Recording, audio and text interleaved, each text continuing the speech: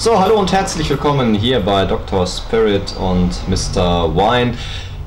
Trockenes Wissen für flüssigen Genuss. Hey, trockenes Wissen für flüssigen Genuss, genau, hat der Wobei- Olaf sich ausgedacht. Wobei wir sollten halt eigentlich äh, mehr spaßiges Wissen für flüssigen Genuss. Genau, äh, das stimmt. Keine Ahnung.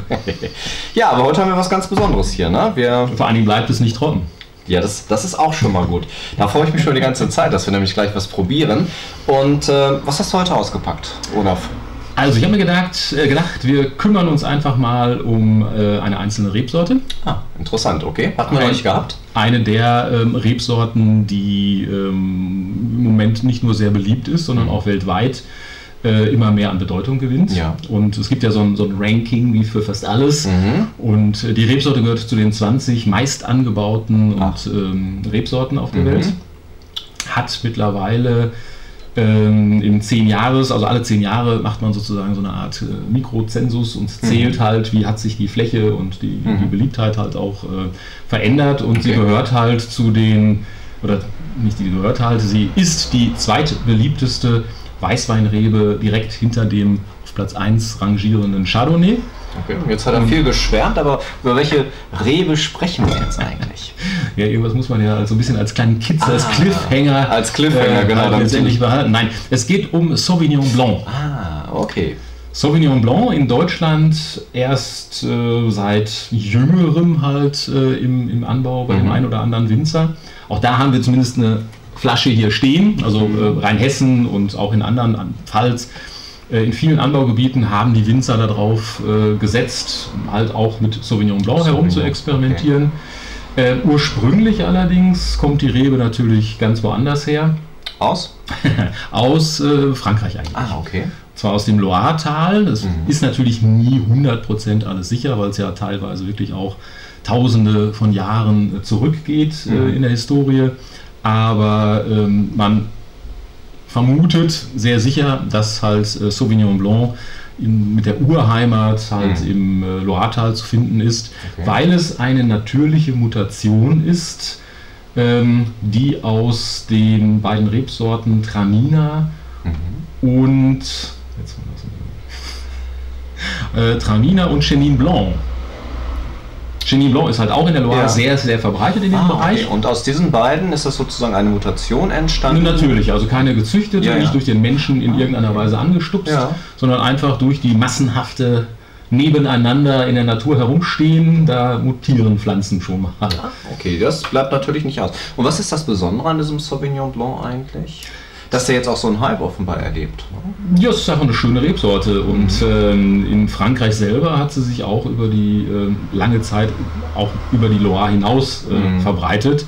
Also wir haben hier zum Beispiel ähm, ein ähm, Jardin des Anges, den Garten der Engel, äh, ein Touraines äh, Sauvignon. Das Mhm. ist eine Touraine ist eine Unterregion am Oberlauf äh, der Loire. Ähm, wo der halt auch auf ganz bestimmten kalkigen Böden Mhm. halt natürlich eine ganz andere geschmackliche Anmutung dann auch äh, hat. Und äh, wir haben hier einen äh, Sauvignon Blanc, der aus dem Bordeaux-Bereich kommt. Mhm. Le Petit Berticot ist halt ein, ähm, ein, ein, ein Landwein, äh, IGP äh, Atlantique, das ist die Landweinregion Ah, okay. äh, des Bordeaux. Ja. Und ähm, da ist es so, dass der natürlich auf ganz anderen Böden steht. Und ja. Da merkt man dann halt so ein bisschen wirklich diesen Begriff des Terroir, also der Herkunft des Ah, Bodens. okay. Ähm, Also das schmeckt man schon den Unterschied, du das sagen. sollte man, das werden wir gleich vielleicht wir gleich feststellen. feststellen. Weil wir werden halt, nachdem er in Frankreich halt einen sehr, sehr hohen Stellenwert Mhm. hat, gehört zu den acht beliebtesten Weißweinreben in Frankreich auf Okay. jeden Fall, ähm, ist es halt so, dass wir nachher einen aus ähm, Neuseeland probieren Neuseeland, werden. Okay.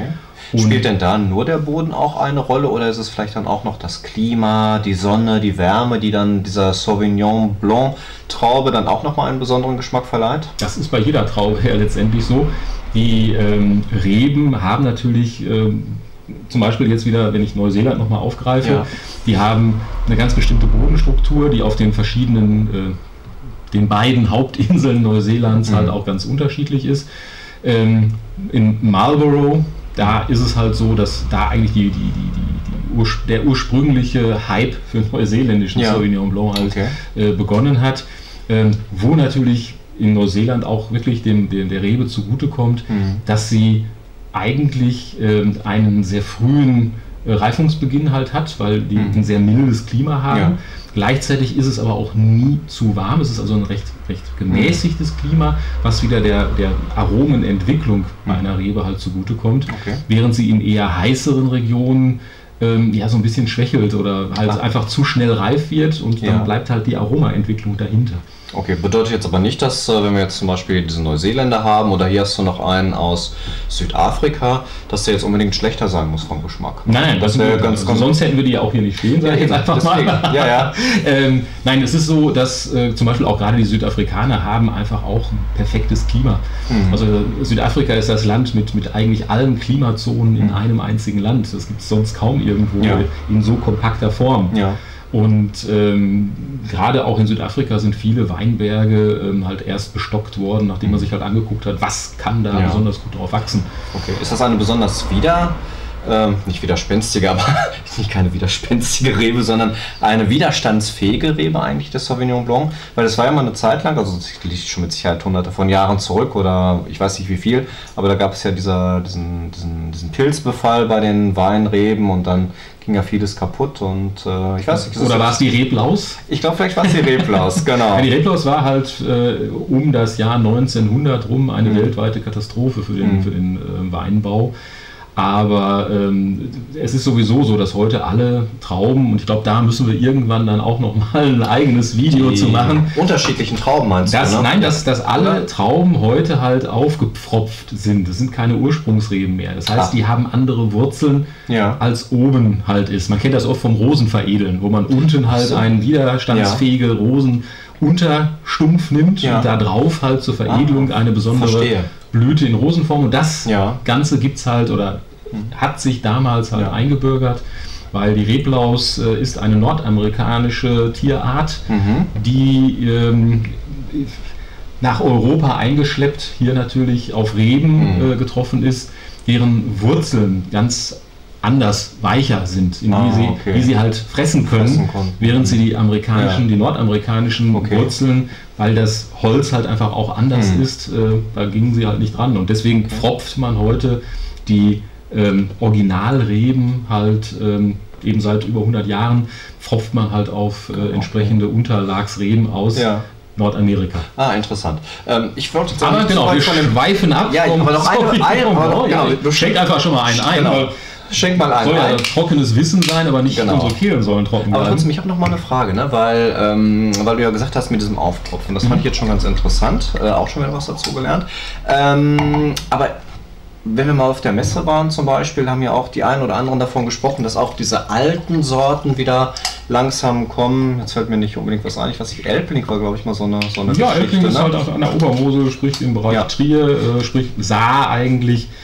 Ähm, die sind nie verschwunden, aber die werden halt auch. Werden die auch Größtenteils werden die Ah, auch okay. aufgepfropft, Ja. Ich habe immer gedacht, die würden dann irgendwo noch so eine alte Pflanze finden und würden sagen, hey komm, die packen wir mal rein, mal gucken, was raus wird. Nee, also es- Aber ist es- nicht so. Man, man hat auch jetzt heute wieder ein, eine Rückkehr Mhm. des äh, Reblaus-Problems. Okay. Äh, die Reblaus ist ja nie verschwunden. Ja. Das ist wie, äh, ja, sie ist halt hier heimisch geworden. Ja. Sie findet ja wahrscheinlich auch immer Ja. noch Nahrung, trotz der, äh, des, Mhm. des, der, der Verknappung, indem man halt Reben anders Okay. behandelt.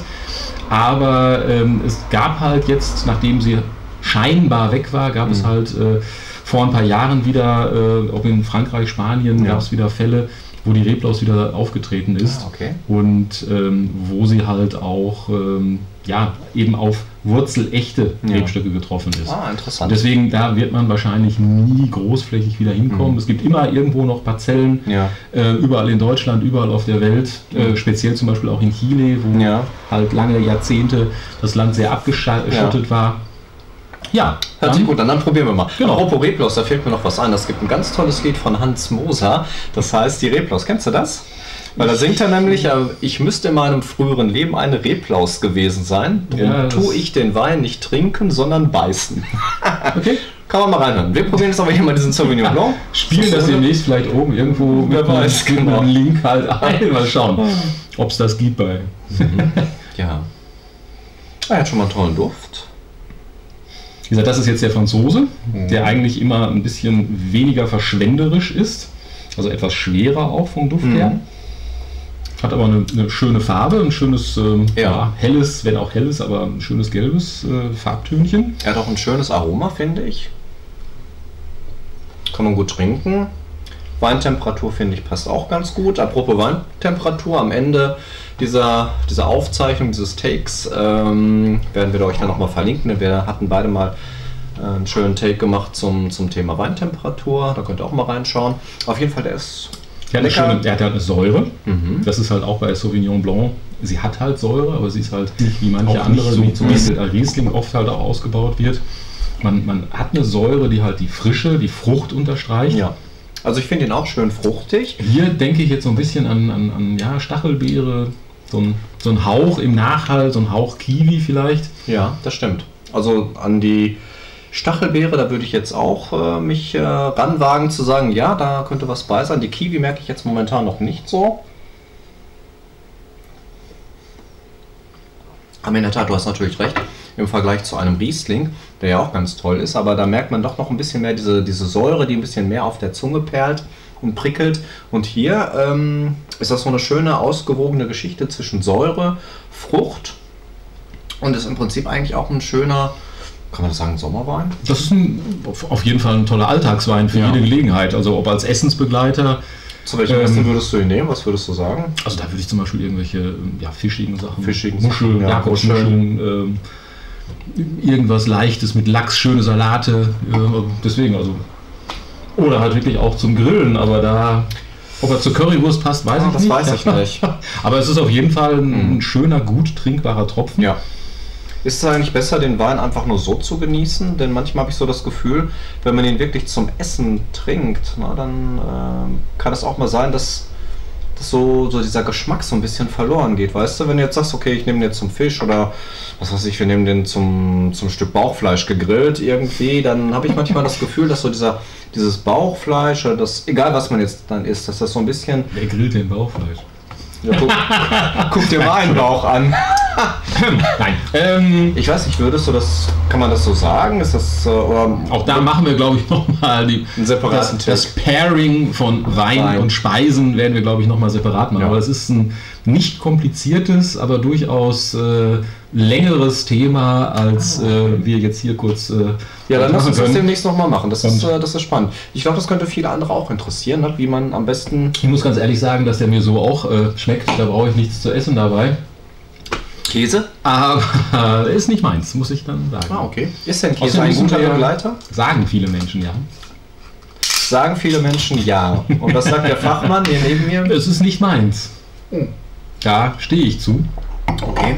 Und ähm, wir müssen jetzt der Kürze der Zeit, wir wollen ja auch nicht übertreiben, Nein, das stimmt. Auch wir haben noch ein paar Minuten. ist es halt so, dass wir jetzt einfach mal den Hunky Dory, Hunky Dory ist übrigens in Neuseeland, ich weiß nicht, ob das im englischsprachigen Raum ähm, überhaupt sowieso so Ja. ist, äh, ist das ein kleines Fischerboot. Also so wie hier Ach, wirklich? drauf Okay, abgebildet, falls man das sieht. Gut erkennen. Ansonsten Ist in dem Fall ein Bio-Tropfen, der Mhm. halt äh, wirklich von der ähm, Insel, also von Mal, aus dem Aus Anbaugebiet dem Marlborough halt kommt. Was ja Äh, eigentlich auch sehr bekannt ist, Marlboro, ne? Auch äh, für die Rotweine. Ja, eher Marlborough County, das, Genau. äh, wo der Cowboy mit der Zigarette im Mundwinkel reitend durch die Gegend zieht. Mhm. Nein, ähm, Ah, Hier ist der Duft schon wieder ganz anders. genau. Und das ist halt auch das Kann man sagen, der ist feiner? leichter, ja, Leichter, ne? leichter, feiner. Und äh, man merkt es halt, auch die Farbe ist identisch, würde ich jetzt fast sagen. Mm, ja, vielleicht ein bisschen, na, kann man nicht sagen. heller Also, vielleicht? aber ähm, im, im, im Duft halt so ein bisschen zurückhaltender, Ja, aber feiner. Feiner. Und Der ähm, Franzose riecht etwas komplexer irgendwie, hatte ich das Gefühl. Jetzt bin ich auch sehr viel, ja, sehr viel üppiger von der Frucht her. Ja. Irgendwo. Das war schon Ja, ja. schwerer, War schon dichter. schwerer. Ja. Und jetzt bin ich hier als Jetzt bin ich mal gespannt. Hm. Den finde ich gut. Der andere war auch nicht schlecht. aber es ist halt so ein wirklich bisschen gefälliger. zarter, zarter. feiner. Ja. Die Fruchtnoten kommen auch durch. Mhm. Die Säure schiebt sich so Schiebt in, sich in so. der Wahrnehmung Ja. ein bisschen nach hinten. Ja. Hier hatte ich bei dem Franzosen hatte ich das Gefühl gehabt, dass sich das so ein bisschen die Waage gehalten hat. Säure und Frucht. Ja, und hier Was mich hier überrascht hat, war halt, dass ich weniger grasige und kräuterige Noten geschmeckt habe. Die hatte ich eigentlich bei Wirklich? so einem etwas einfacheren Tropfen, äh, hatte ich Mhm. die eigentlich erwartet, weil das ist auch Sauvignon typisch, dass er halt so ein bisschen grasiger, Ja. in, in, teilweise eben nicht so mengenbegrenzten, also weniger qualitätsorientierten Ja. Anbau ist. Und ähm, hier ist es jetzt wirklich so, dass es so ein ganz geschmeidiger, die Säure halt ist immer noch da, aber Ja, sie ist nicht so präsent, sie, Nicht so sie präsent. buttert nicht alles andere unter. Und das, Das ist halt ist- wirklich ähm, so das, das feine, nicht der Gegenentwurf, aber die Nein, aber feine ist- Ergänzung. Genau. So bietet- nicht- Hm? So bietet Sauvignon Blanc halt wirklich auch Halt in jeder Herkunft eine ganz andere ähm, Anmutung vom Ja. Geschmack, ein bisschen mehr ausgeprägt Ja. in dem oder in dem Bereich. Okay. Wir haben hier zum Beispiel äh, bei dem CO2-neutral übrigens produzierten äh, in Neuseeland haben wir auch halt Melone, Kiwi und Kapstachelbeere, beziehungsweise die meisten eher als Physalis bekannt, Mhm. drauf als äh, Aromen. Und ähm, ja, so in diesem Bereich arbeitet er. Also diese exotischen, eher äh, grünen, gelben Früchte. Ja. Und eben auch so ein bisschen hier würde ich auch sogar dieses Melonige unterschreiben. Da bin ich ganz bei dir. Ja, würde ich sagen. Also ich denke mal, da muss man sich schon selber so ein bisschen rantasten und mal was ausprobieren. Ähm, Bis kann- man dann womöglich beim neuseeländischen Ja. Paradestück, dem Cloudy Bay, das ist der, der den Ruf neuseeländischer Sauvignon Blancs begründet Mhm. hat, bis man da halt gelandet ist. Ah, nicht schlecht. Der Cool. auch ein bisschen teurer ist. Ja, okay. Gut, auf jeden Fall denke ich, haben wir jetzt mal so einen kurzen, knappen Einblick ähm, in den Sauvignon Blanc äh, gefunden. Der Olaf und ich, wir trinken uns hier noch ein. Ja, Flaschen müssen noch weg. Flaschen müssen noch weg, genau. Und ähm, ja, am besten, wie sagst du mal, entweder unten liken oder irgendwas in die Kommentare schreiben. Genau. Uns irgendwie kontaktieren, wenn Genau. Fragen aufkommen. Wir sind gerne Ja. bereit, äh, das selbst zu recherchieren, falls wir es nicht wissen. Aber hier sitzt halt geballtes Wissen. Ach, und äh, das ist halt, äh, das kriegen wir dann auch irgendwie unter. Oder eben auf jeden Fall liken, Genau. abonnieren, die Glocke anmachen. Die Glocke Ich anmachen. weiß nicht, wie das bei YouTube sonst noch so Ich heißt, aber nicht, keine Ahnung. Seid dabei auf jeden Fall und habt Spaß und äh, Genau. ja, Denn alles gut. Wein bedeutet Spaß. Genau. Bis dann, macht's gut. Ciao. Tschüss. Ja. Stößchen.